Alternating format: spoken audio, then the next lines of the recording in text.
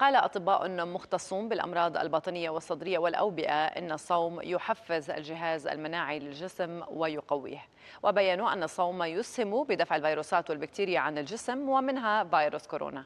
وأكد الأطباء أن الصيام لفترات طويلة وللأشخاص الذين لا يعانون من مشاكل صحية يعطي الفرصة للأمعاء لتتخلص من الشوائب العالقة بها ويحفز الجسم أيضا لإنتاج كريات الدم البيضاء وهي الأهم بجهاز المناعة.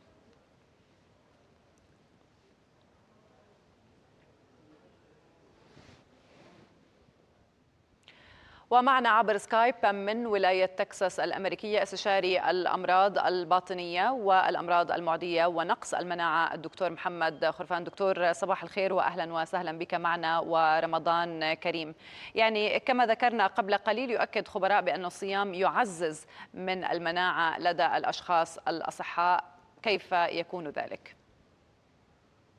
صباح الخير وكل عام وأنتم بخير سمعتيني؟ سمعتك دكتور تفضل. آه سوري. آه صباح الخير وكل عام وأنتم بخير. آه طبعا بتقدر تعتبر الصوم بهاي الحالة زي نوع من الحمية الغذائية ف يعني شيء طبيعي إنه يكون يعني آه بيحسن الوضع الصحي بشكل عام. التحفظ الوحيد على القصة إنه معروف إنه الفيروسات اللي بتصيب الجهاز التنفسي بشكل عام آه غالبا آه لما يكون في حالة آه نقص سوائل أو جفاف اللي بسموها بالإنجليزي ديهايدريشن ممكن تزيد نسبة الإصابة فيها. فهاي التحفظ الوحيد على هاي الدراسة اللي عندي. فالمفروض إنه البني آدم يعني الصوم اللي ما في مانع إنه يصوم شيء كويس بس آه يحافظ على آه السوائل في جسمه أثناء الفطور وفي فترة السحور قبل ما يبدأ الصيام. وطبعا المفروض إنه يتناول يعني وجبات غذائية فيها كميات كافية من البروتينات مثلا وال وتكون متوازنة وبنفس الوقت إذا ما بيقدر يعمل هذا الحكي ممكن يأخذ اللي بنسميها ال supplements زي حبوب البروتينات sorry حبوب ال ال بروتينات مثلا أو أو أي أي supplements ممكن أو زيت السمك أو أي شيء زي هيك. نعم. طب أو الفيتامينات مثلا. نعم. طب دكتور يعني هلأ خلال الفترة الماضية كنا نسمع بكثير من الأمور اللي الناس عم تتداولها بموضوع المناعة ونقص المناعة وهذا هذا النوع من الفواكه أو هذا النوع من الخضار بيرفع المناعة. هل هي المناعة يعني ترفع وتبنى بجسم الإنسان بغضون أيام أو ساعات قليلة ولا جهاز المناعة يعني يختلف بهذا الموضوع وبيكون يعني مركب بطريقة تختلف أو بتحتاج أكثر من يوم أو يومين؟ لا هي عملية تراكمية بس ممكن مثلا شغلات طارئة تصيب البني آدم تاثر على جهاز المناعة بشكل فجأة. مثلا واحد خلينا نحكي صار معه مثلا التهاب نمونيا فبصير عنده نقصان بالمناعة بشكل مفاجئ بالذات مركزه بالجهاز التنفسي. آه هذا بشكل عام. بس هي غالبيا يعني شيء تراكمي بتقدري تحكي إنه بتعتمد على قديش مثلا آه أنت مثلا كنت عندك مثلا تغذية كويسة لمده طويلة آه الشغلة الثانية مثلا إنه إنه آه قديش آه بتنام مثلا قديش بتاخذ راحة آه ممارسة الرياضة مثلا آه يعني شغلات عامة بشكل عام بس يعني ممكن نعم. بفتره قصيرة إنه تتأثر المناعة ممكن نعم. جدا قلة النوم دكتور والتعب بشكل عام بيقلل من مناعة الإنسان 100% يعني شو ال شو ال شو الرابط بين الموضوعين؟ مناعه الإنسان قله النوم قلت راحه في عم بسأل دكتور عن الرابط كيف ممكن قلة النوم تساعد آه. بتقليل أو نقص المناعة عند الإنسان؟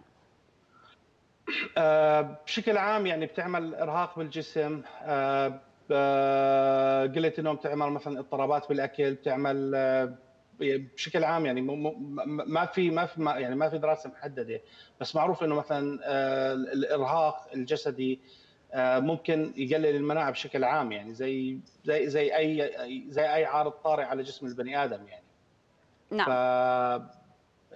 نعم. طب بدنا نرجع لموضوع الصيام مرة أخرى دكتور وموضوع المناعة. يعني يقال بأنه كمان المصابين بالأمراض المزمنة والأمراض يعني أمراض أخرى الصيام رح يقلل من من مناعتهم. هل هذا الموضوع دقيق؟ آه ستي هذا الموضوع ما بتقدر تحكي فيه بشكل عام. آه هذا الموضوع آه بنحكى فيه بشكل فردي كل مريض آه له حالته. مثلا خليني أضرب لك مثل. المريض اللي معه السكري آه type 1 اللي هو النوع الأول اللي بيحتاجوا إنسولين.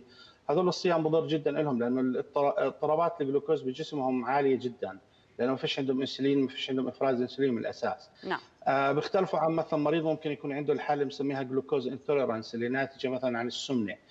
فهذول ممكن مثلا إذا آه صام ونظم الغذاء أو شغلات زي هيك ممكن إنه بالعكس تكون هذا الحكي مفيد له يكون نظام صحي ويتعود على وجبات قليلة مثلا وموزعة. فيعني شغلة فردية. آه بشكل عام إذا ما في مانع مش المفروض إنه ما ما, ما تأثر على الصحة بشكل عام بس أكيد كل واحد لازم ينظر على الموضوع بشكل فردي. ما ما في ما في تعميم يعني. نعم. فاللي عنده مشاكل صحية المفروض يتابع مع طبيب ويشوف شو اللي ممكن يتبع شغلة ثانية إنه فترة الصيام ما ما ما ما تتضارب مع الأدوية اللي باخذها مثلا في عندك كثير من أدوية الضغط وأدوية السكر بتتاخذ أكثر من مرة باليوم فالمفروض هاي الشغلات مثلا إنه نراعيها وما يصير إنه اللي بسموها skipping of doses إنك يعني تفشق عن أو أو ما ما تأخذ الجرعة تبعتك من العلاج المعين في الوقت المعين. نعم.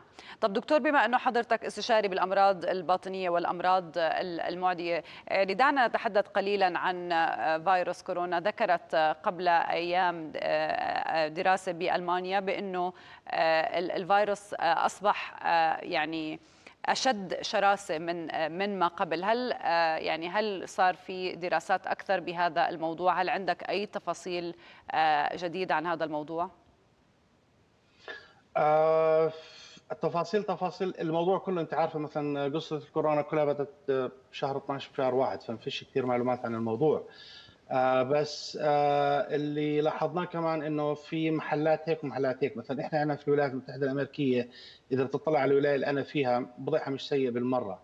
يعني هي من ناحية المساحة أكبر ولاية وما فيش هنا غير 25000 حالة. الولاية المجاورة لنا مثلا ولاية لويزيانا فيها حوالي 30000 حالة.